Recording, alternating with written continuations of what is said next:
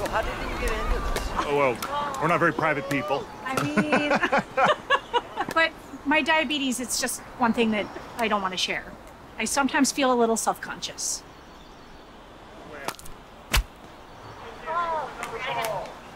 You ever try one of these? I just press here, Yeah, no need for separate lancets or test strips. and that's it. So I don't have to wear anything. You're good to pogo.